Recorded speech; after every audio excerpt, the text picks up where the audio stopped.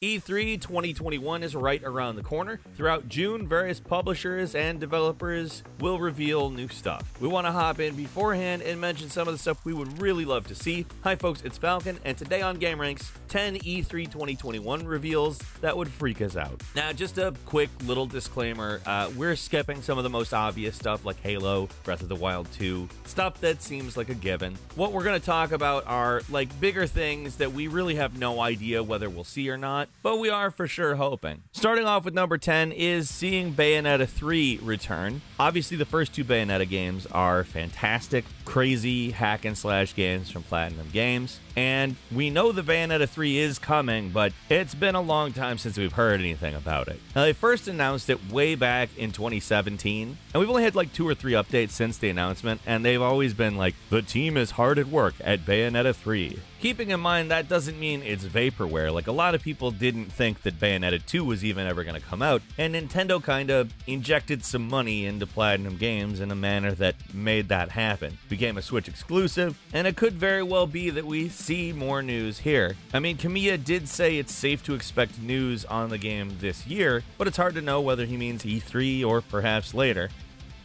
At number 9, we have another very similar situation, actually. Metroid Prime 4 was teased way back in 2017, actually before Bayonetta 3. Bayonetta 3 was announced in December, while Metroid Prime 4 was announced at E3 2017. So if we don't hear anything, this will actually be the four year anniversary of knowing that it's in development. It was interesting because Retro Studios took the helm in 2019, and they were two years into development at that point. So I think that Metroid Prime 4 news might be a little more unlikely than Bayonetta 3 news, just based on the nature of how they've gone about doing the development process, that it's switched developers, and most likely was entirely restarted. Meaning, while the game has been in development for four years, probably the current iteration has been in development for two. It's a game that they're gonna want to get right because it has been a long time since Metroid Prime 3, and all three of the original games are pretty well beloved, but the last one was released in 2007, so we're talking about a 14 year gap, so expectations would be pretty high. At number 8, it'd be pretty insane if we got some Indiana Jones gameplay because that was just announced a few weeks ago. The new Indiana Jones game coming from Bethesda and Machine Games, the Wolfenstein developers, it might be a little bit early to expect any real concrete information, but what we do know about the game is that it is, and this is quoting StarWars.com, Lucasfilm's official news outlet, an original standalone tale set at the height of the career of the famed adventurer. There are a few nuggets of information out there. There's the fact that Todd Howard is executive producing it, but currently keeping in mind that Bethesda is working on both Starfield and Elder Scrolls 6, and who knows what else Machine Games is working on. It's probably not reasonable to assume we're going to get any information here. However, it would be awesome because the game is probably going to be at least very interesting. Hopefully, since it's Machine Games, it will not be built on the Creation Engine, which is old and crap.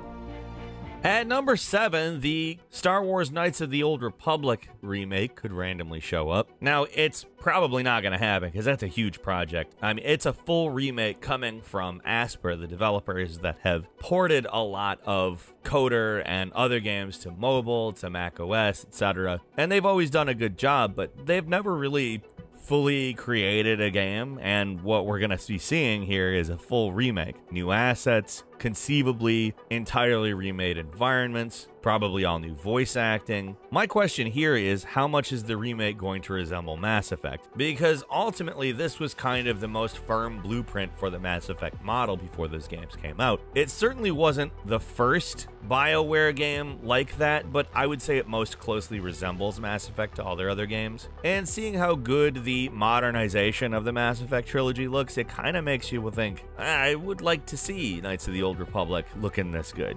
Obviously, we would love to hear about that, but for me, it seems unlikely. We can hope. At number six, it would be pretty wild to see the sequel to Dragon's Dogma appear. Uh, we've got no news about that since a big data leak showed that it was being developed at Capcom and that it probably is being developed as the next Resident Evil engine project. It's a really good engine, but we don't even really have confirmation of that. In terms of official information, there really isn't any. Again, the only reason we actually know it exists is because there's a big Capcom data breach. If you don't remember the original, it came out way back in 2012, so probably there's going to be at least 10 years in between these games in terms of actual release dates, but it could be even longer. I think Dragon's Dogma still kind of holds up today, not necessarily graphically, but it's an action RPG hack and slash that's still a hell of a lot of fun to boot up and spend some time in.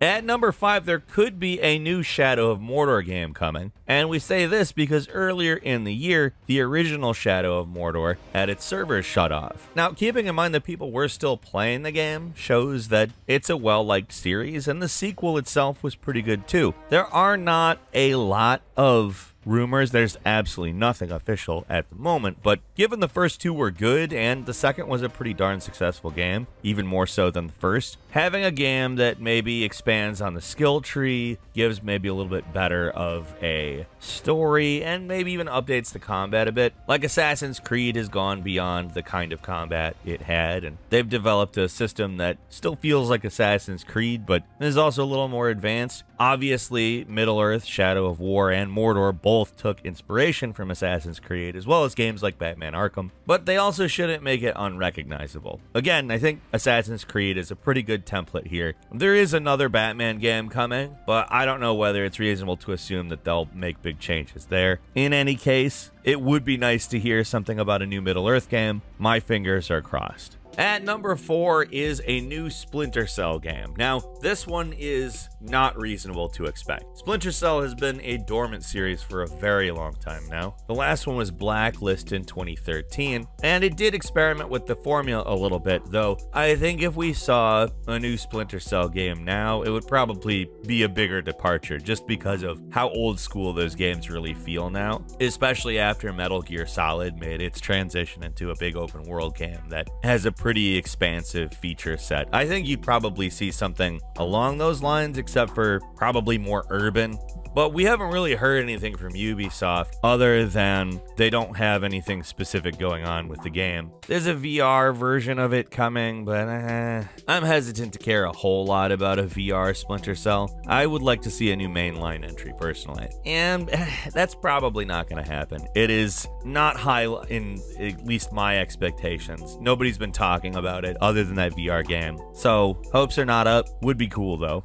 At number three, this one I think is maybe a little more likely. Some gameplay for Elden Ring, the game that From Software and George R. R. Martin are collaborating on. Now, if they do show some gameplay, I don't really expect that it'll be released this year. From Software is a pretty busy developer. They have other games in development as well. Elden Ring is one of those games where they've been pretty quiet about it. It was announced back in 2019. The interesting part is that it is going to be an open world game, and Miyazaki character characterizes it as kind of a natural evolution of the Souls series. George R. R. Martin is handling the story, so the game's probably going to take about 26 years to complete. That's an exaggeration. I don't know. Could we hear about it? Sure. But it's interesting that something that originally started as a DLC project for Dark Souls 3, which would mean its development dates back to 2017, we still haven't heard anything about now in 2021.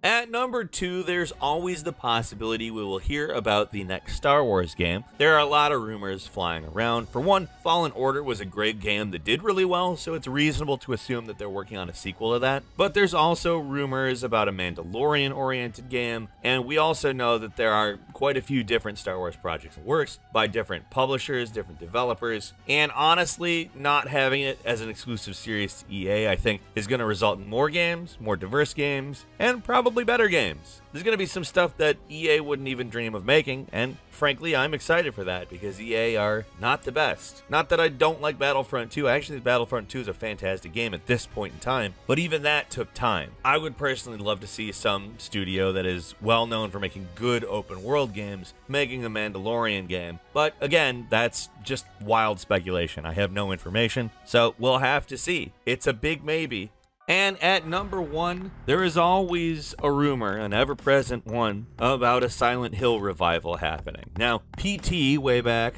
made such a big impression on the horror world, Resident Evil basically shifted into be the big AAA series that takes that model on. Obviously, they've incorporated a lot more Resident Evil silliness into it. We'll call it silliness. But the PT trailer starring Norman Reedus back in the day was genuinely scary, different, and something that hasn't truly been replicated at this point. Could this be the year? Could this be the E3? Could we finally hear Konami is taking its head out of its ass and decided to make a Silent Hill game. We will see, or maybe we won't. Who knows? What do you think? Leave us a comment, let us know. If you like this video, click like. If you're not subscribed, now's a great time to do so. We upload brand new videos every day of the week. Best way to see them first is, of course, a subscription, so click subscribe. Don't forget to enable all notifications, and as always, thank you very much for watching this video. I'm Falcon. You can follow me on Twitter at Falcon Hero. We'll see you next time, right here on gameranx.